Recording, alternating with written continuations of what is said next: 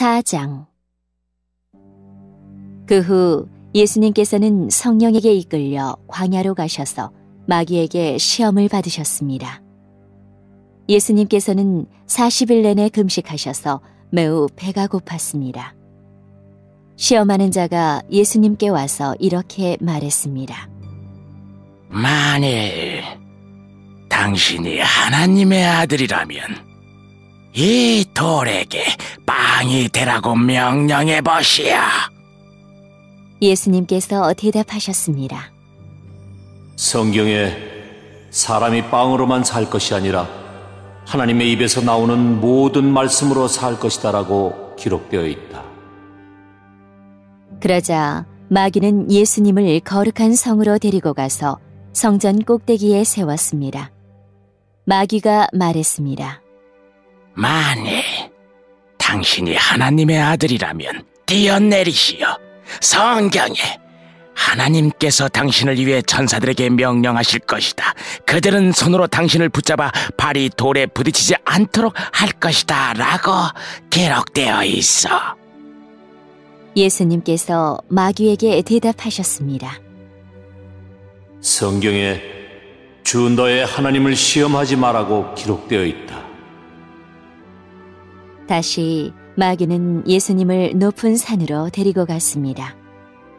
마귀는 예수님께 세상의 모든 나라와 그 영화로운 모습을 보여주었습니다.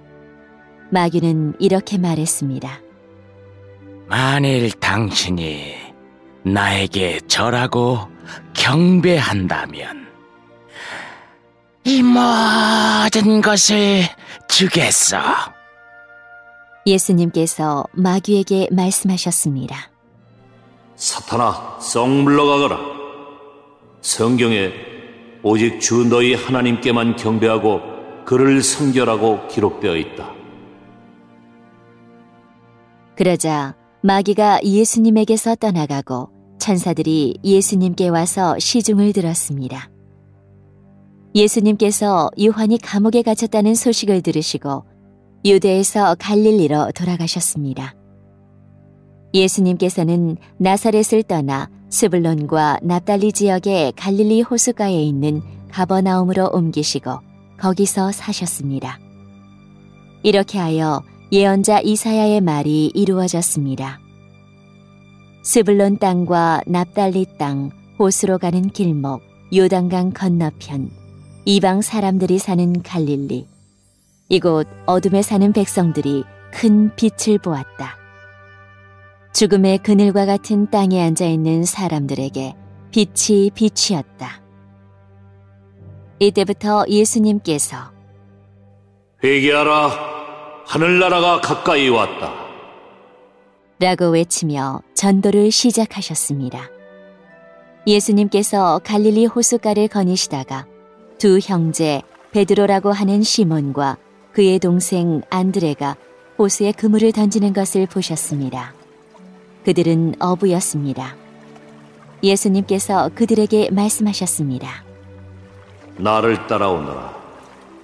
내가 너희를 사람을 낚는 어부로 삼겠다. 그 즉시 시몬과 안드레는 그물을 버려두고 예수님을 따랐습니다.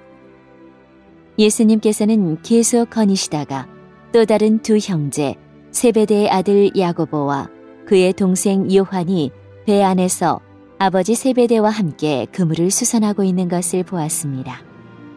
예수님께서 그들을 부르셨습니다. 그들도 그 즉시 배와 아버지를 버려둔 채 예수님을 따랐습니다. 예수님께서 갈릴리 모든 곳을 다니시며 유대인들의 회당 안에서 가르치시고 하늘나라에 대한 기쁜 소식을 전해주셨습니다. 그리고 사람들의 갖가지 병을 고쳐주셨습니다. 예수님에 대한 소문이 시리아 전역으로 퍼졌습니다. 사람들은 병든 사람을 모두 데리고 예수님께 나아왔습니다. 그들은 여러 가지 병으로 고통받고 있었는데 통증에 시달리는 사람, 귀신 들린 사람, 간질병에 걸린 사람, 그리고 중풍에 걸린 사람들이었습니다. 예수님께서 그들을 고쳐주셨습니다. 그리하여 갈릴리, 데가볼리, 예루살렘, 유대, 그리고 요단강 건너편에서 온 많은 사람들이 예수님을 따랐습니다.